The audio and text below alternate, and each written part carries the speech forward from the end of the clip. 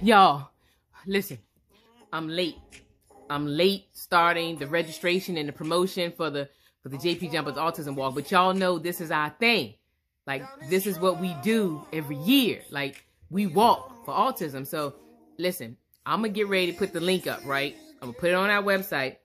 When I put this link up, I need you guys to register. You can register as a team, you can register as a group, you can register individually.